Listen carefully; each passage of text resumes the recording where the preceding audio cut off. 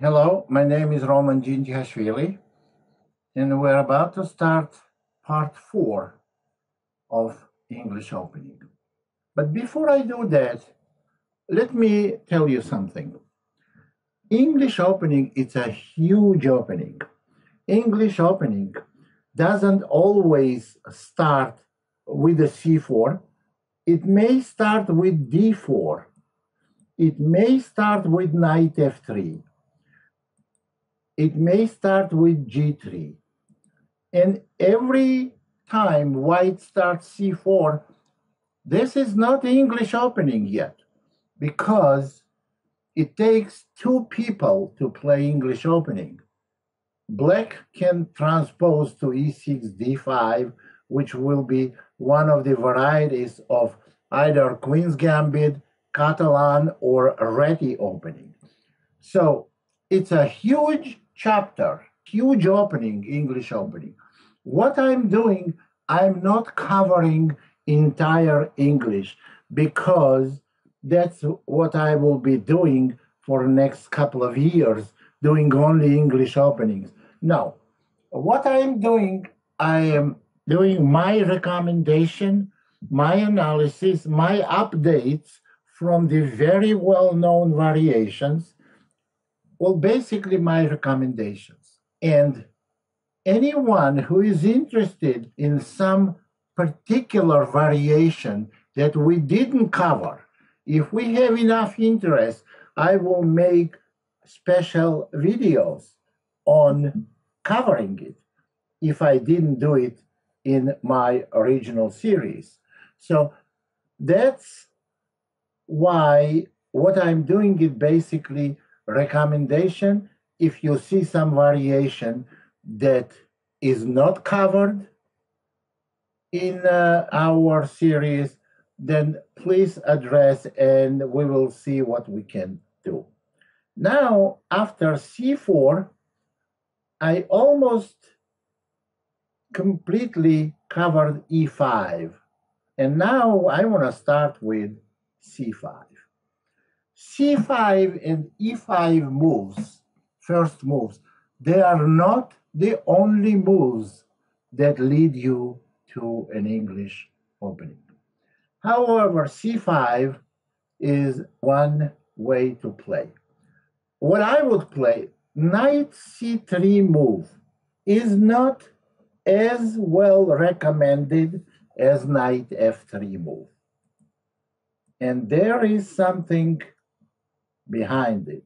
On knight C3, when black goes knight C6, this is one of the rare cases when if white goes G3, G6, black can almost like 80, 90% can copy white's moves and they are not going to get punished. For example, even A3, A6, Rook B1, Rook B8, B4, CBA, B5, there is nothing better for white than take on B5 and position is equal as something like c5, black has good position after a5.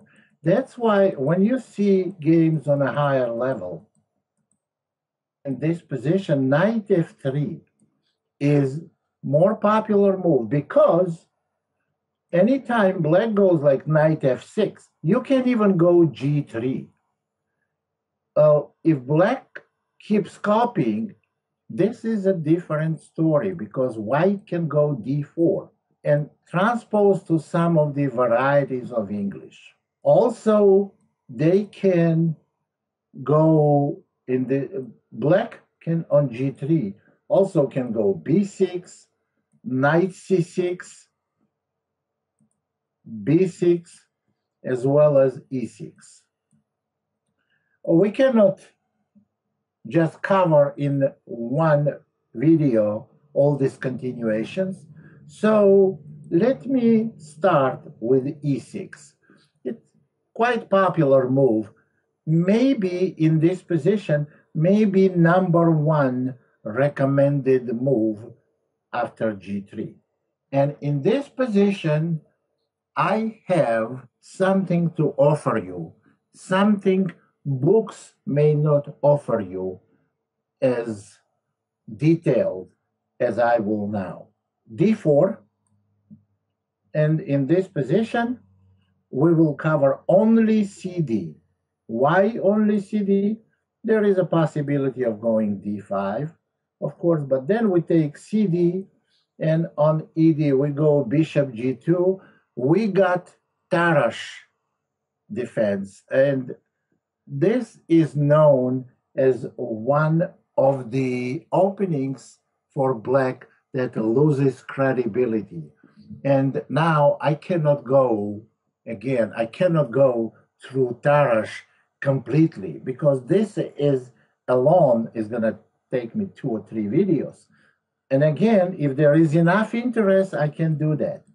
But move that keeps it English is CD, most popular move by far.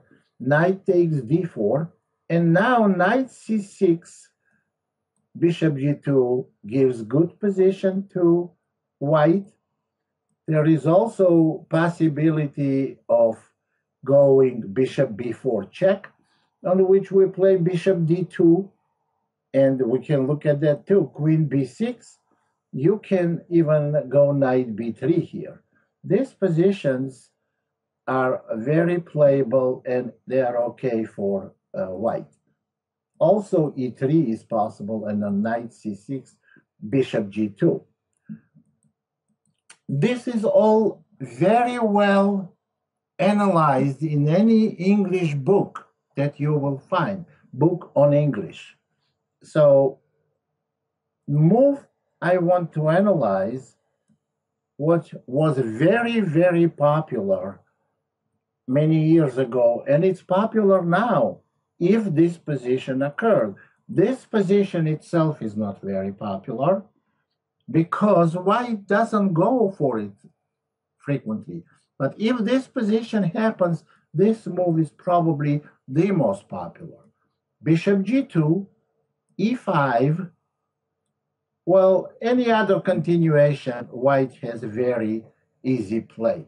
For example, on dc, you can go queen a4 check and take on c4 on something like knight c6, you can take cd, ed, and you have improved version of Tarrasch that is very good for white.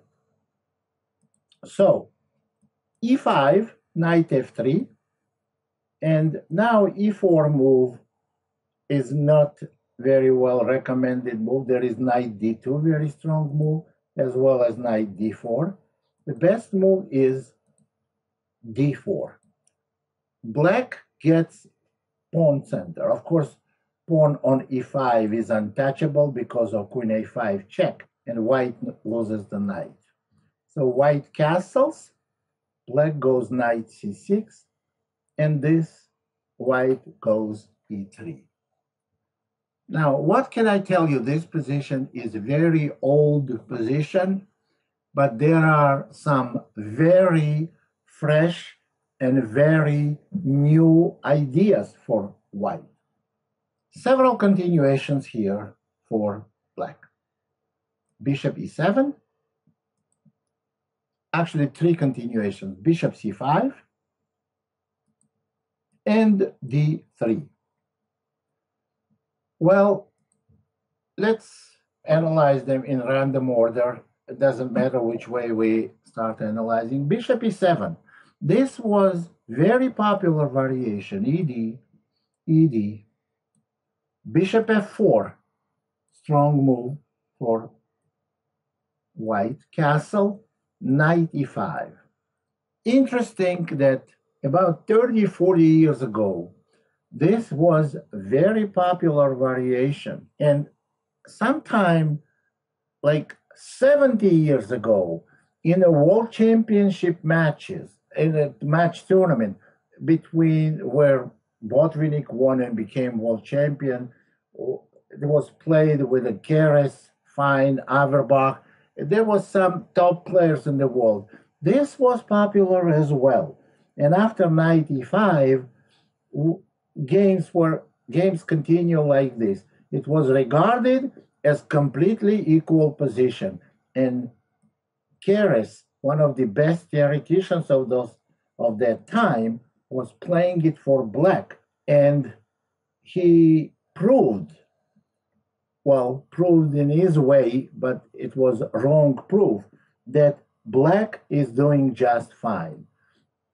Knight g4, bishop f4, and it's known as g5 is bad move because white goes knight b3 and has big advantage. But knight e3, he played and game ended in a draw in two moves. Pawn takes, pawn takes, attacking knight on d2 and threatening e2.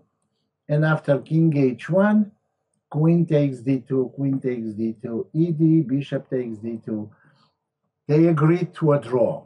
This is drawn position, it's right. But then, a few decades later, we didn't have computers there. If there were computers, computer uh, programs, we would have seen, computers would have seen the move that wins immediately. But way before computers uh, came on, Polugaevsky found winning move this position happened in his game. He played queen h5 and won like in couple of moves.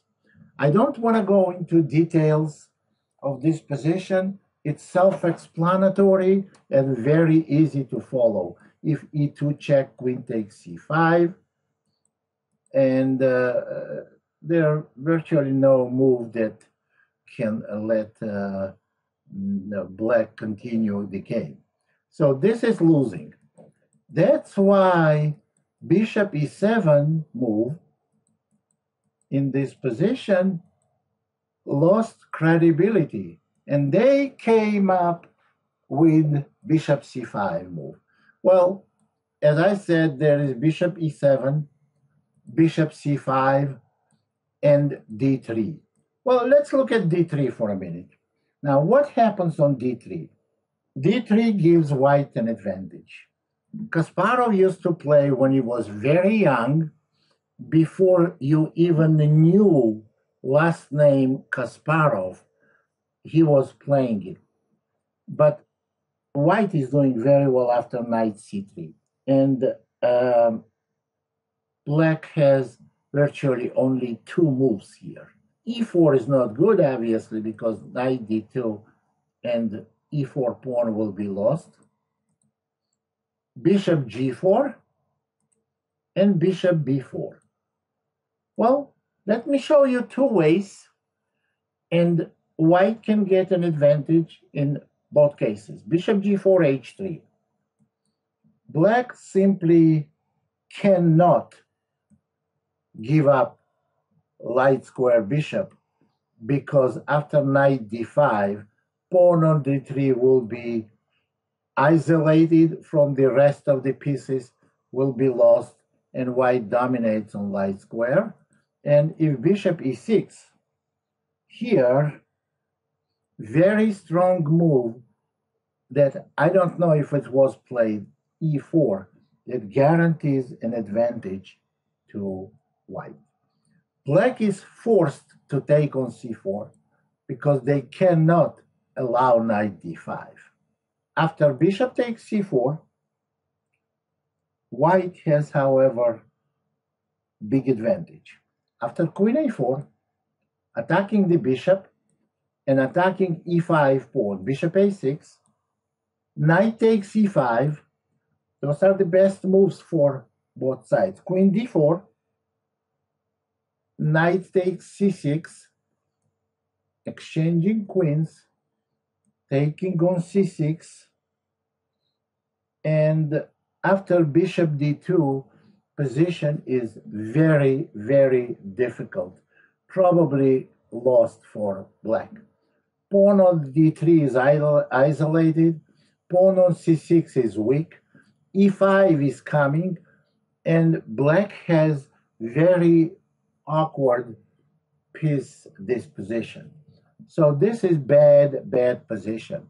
And I don't, when I say this is bad position, it's not based on what I think about it because I analyze this position and I don't want you to take into details of this analysis because I don't think you're going to have any problem identifying this big advantage for white. So this is bishop g4 continuation. But most popular move in this position for black is bishop b4. This is not most popular position, and the reason is because d3 is not most popular move. It's not popular move at all. And the advantage white gets in this position is after knight takes e5. Knight takes e5 gives them clear advantage. Knight takes e5, queen a4 check. This is a piece sacrifice for white. Knight c6, bishop takes c6, pawn takes c6, queen takes b4, and d2. Black wins a piece, but loses the game if white plays correctly. It happened in one Grandmaster game. Game ended in a draw because white made one seriously bad move. Bishop takes d2, that's how it happened, and those are the best moves. Queen takes d2, rook a d1, and uh, queen c2 is the only move. Queen d6, threatening queen takes c6 and queen d8 mate. Obviously only one move, bishop d7, and very strong move e4, threatening e5. All that was played in the game. Black's only move is castling long. And now white plays, now e5, knight e4. It doesn't do anything. Now white plays rook c1. And you see taking on b2 is not good because of rook b1 and there is mate on b8 and black's queen has no better escape. So if bishop e8 then queen takes d8 followed by, by rook takes queen. And after rook c1 this all was played. Knight takes e4 and grandmaster that was played with white it was Gennady Sosonko my good friend he made a bad move queen d4 he still had an advantage, but he failed to win the game. The correct move was queen a3, and uh, black is completely busted. However, queen d4 allowed some tactical shot, kind of knight g5, and if white takes queen, black has knight f3. And we don't want to know what happened because there is queen a3 move that wins very easily. And that's why we have no need to analyze this position. So now this basically two, three variations that we have on the move that you very unlikely to see played against you. But bishop c5 is the most likely move. Now, after bishop c5, what we should do, ED, ED, and there is very tempting but wrong move, rook e1 check. It's very unlikely that rook e1 check can be wrong, but it is wrong because black is going to play bishop e6. And something like knight g5 is simply not recommended for white. They can win a pawn, but black is going to have very, very strong initiative. There is knight d4 coming, queen d4, queen b6, f2 pawn weak. This is not the way to play for white. However, white has a way of getting big advantage. And it's interesting that it was played first in my game, and I came up with it. And then I lost the game with the white because I made one horrible mistake, but I got completely winning position. We're going to get to it. Knight d2 now is the way to completely refute this variation. Castle and knight b3. attacking bishop, and indirectly, if bishop b6, then c5, and then take pawn on d4, having completely winning position.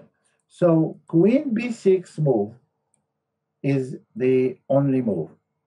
And in this position, if white takes on c5, black has very strong d4 pawn, which is giving them enough counterplay. Knight takes c5 is a wrong move. Bishop g5 is correct move.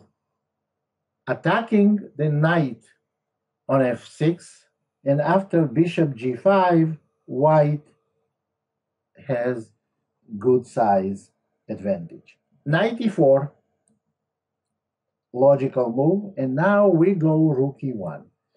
We are letting black's knight to take our bishop on g5, and we're going to have very big advantage.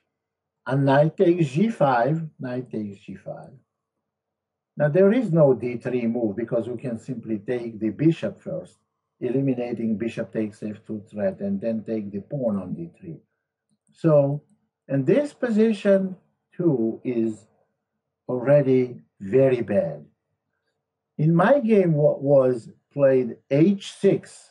This is a losing move, and I could have easily won. I played knight takes f7 because that's the main refutation. Rook takes f7. Now I did play bishop d5. This all happened.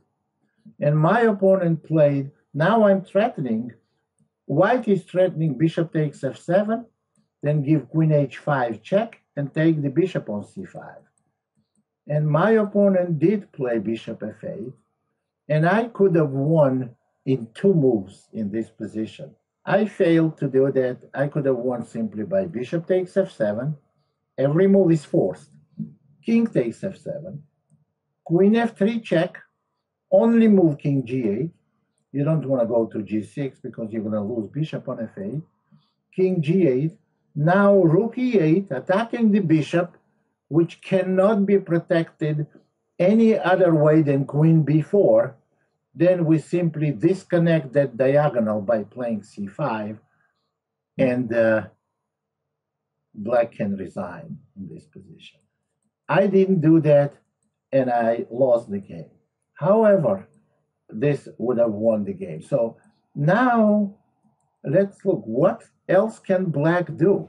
White is threatening knight takes h7, followed by queen h5, check and take the bishop on c5. Natural move like bishop f5, and it looks like black is doing well. Then comes very unexpected and shocking move. Bishop takes c6. Why would we give that bishop for that knight? And regardless which way black retakes on c6, there is a rook e5 move attacking two bishops, and white is easily winning. Black must go queen f6, not to lose whole bishop. Rook takes c5, queen takes g5, knight takes d4. White is completely winning. So in this position, it's already no good advice for black. They are in a lot of trouble, and it's hard to see from far away that this knight takes f7 threat is critical, and black has no defense. Now, let's go back to the position where it started. As I already explained, e5 is going to lead us to the variations we just looked. D takes C will go to very good variety of a Catalan for white.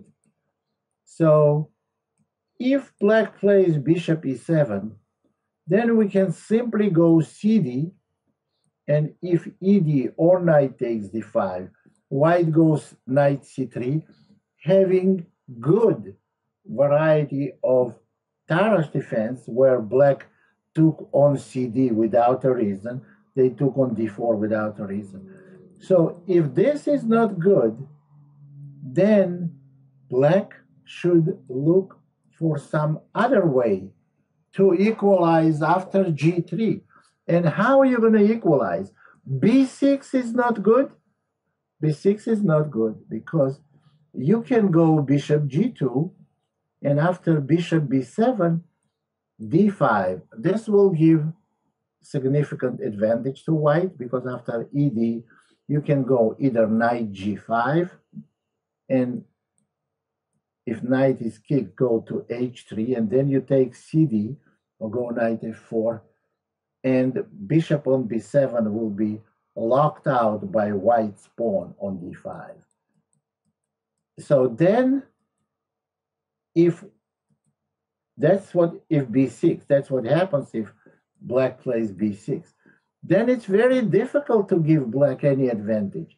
Whole different types of positions arise after bishop b4 we will analyze those positions but i strongly believe that white has upper hand in every position here in every variation, bishop d2.